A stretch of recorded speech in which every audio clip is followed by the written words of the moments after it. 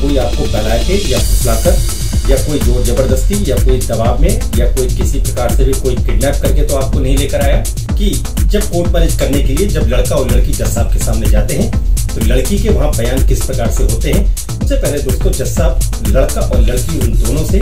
उनकी date of birth जो उनकी जन्म तिथि होती है, वो कंफर्म करते हैं। इससे कि जज साहब यह सुनिश्चित कर सकें कि लड़का और लड़की दोनों कानूनी रूप से शादी करने के लिए योग्य हैं। और इसी के साथ जो लड़की से स्पेशली जज साहब ये ज़रूर पूछते हैं कि ये जो आपकी शादी हो रही है,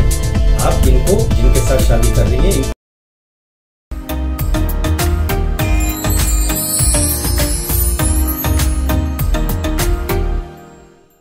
नमस्कार दोस्तों, विशाल शर्मा, कोटमारी ऑफ़िस में। आज आपका बहुत बहुत स्वागत करता हूँ। और आज की जो मेरी दोस्तों, वीडियो है, इसमें आज मैं आप लोगों को बताऊँगा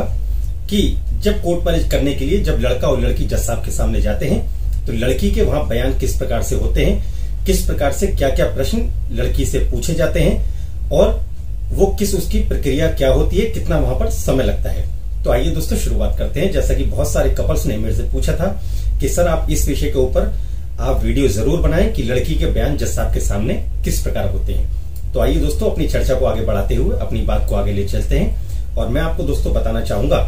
कि जब आप अपनी कोर्ट मैरिज करने के लिए, जब आप अपनी मैरिज का रजिस्ट्रेशन करवाने के लिए जब आप जज साहब के सामने जाते हैं तो सबसे पहले दोस्तों जज साहब लड़का और लड़की उन दोनों से उनकी डेट ऑफ़ बर्थ, जो उनकी जन्म तिथि होती है, वो कंफर्म करते हैं। जो डेट ऑफ़ बर्थ आपके आयु के प्रमाण पत्र में लिखी होती है, वही डेट ऑफ़ बर्थ दोस्तों आप लोगों ने जज साहब को बतानी होती है। जैसा कि जो आपके डॉक्यूमेंट्स कोर्ट मैरिज करने के समय जो डॉक्यूमेंट्स आपके वहाँ पर लगाए जाते हैं, जैसा कि आपका आधार कार्ड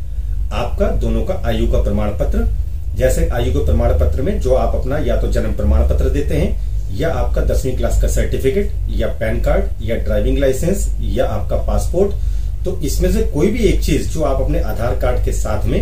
कोर्ट मैरिज करते समय या मैरिज का रजिस्ट्रेशन करवाते समय जब आप जज साहब को देते हैं तो वही डेट ऑफ़ बर्थ आपको जज साहब को बतानी होती है, जिससे कि जज साहब यह सुनिश्चित कर सकें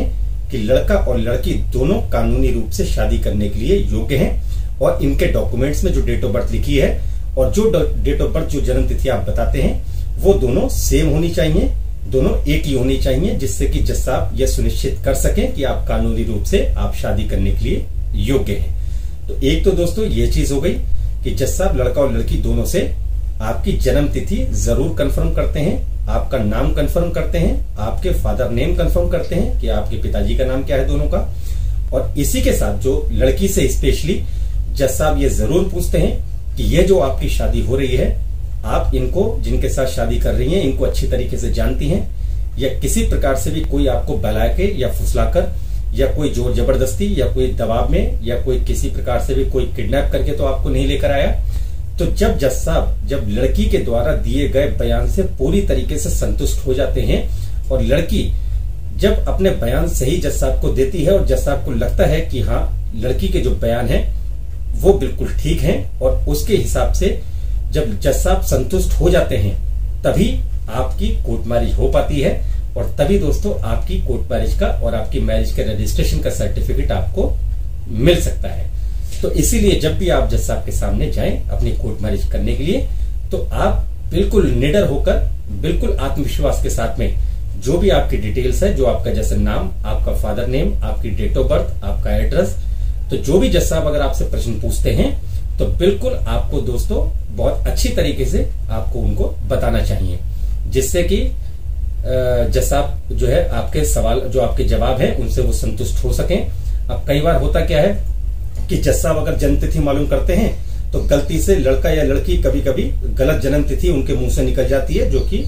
गलती से निकल जाती है। तो इस वजह से कभी कभी आपको परेशानी हो सकती है। तो इसलिए जब भी अगर जज साहब के सामने आप जाएँ शादी करने के लिए तो आप जो जज साहब प्रश्न आपसे पूछें, उनके बिल्कुल सही उत्तर आपको जज साहब को देने चाहिए, जिससे कि आपको किसी प्रकार की भी आपको परेशानी ना हो।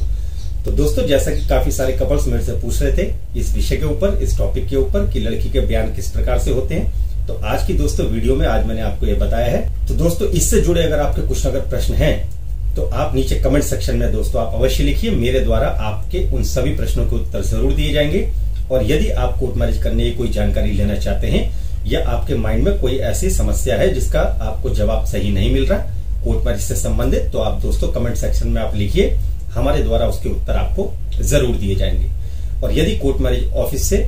आप अपनी शादी करने की प्रक्रिया के बारे में अगर आप कुछ जानना चाहते हैं तो सुबह दस बजे से लेकर शाम को सिर्फ़ सात बजे तक आप मेरे इस मोबाइल नंबर पर कॉल करके आप जानकारी प्राप्त कर सकते हैं। तो दोस्तों, जैसा कि बहुत सारे कपल्स हमसे पूछते हैं कि सर, ये आपका ऑफ़िस कहाँ पर है? तो ये जो आप मेरा ऑफ़िस दोस्तों, आप देख रहे हैं, ये दिल्ली में तीस हजारी कोर्ट के अंदर ये हमारा ऑफ़िस है। और दूसरा ऑफ़िस हमारा दोस्तों जो है, वो हमारा गाजियाबाद में है। तो जब भी अगर आप अपनी शादी का अगर प्लान आप करें तो आप आने से पहले आप अपनी अपॉइंटमेंट आप लेना बिल्कुल ना भूलें। कोर्ट ऑफ़िस से आप अपनी अपॉइंटमेंट ज़रूर ले लें। तो दोस्तों, इसी प्रकार आप कोर्ट ऑफ़िस के ऊपर आप अपना प्यार बनाए रखिए। इसी प्रकार आप हमारे साथ बने रहिए। हम जल्द आएँगे दोस्तों एक नई वीडियो के साथ और एक नए उत्तर के साथ, जो कि आप हमसे प्रश्न पूछते हैं और जल्द आपसे मुलाकात होगी। तो ये वीडियो देखने के लिए आपका बहुत बहुत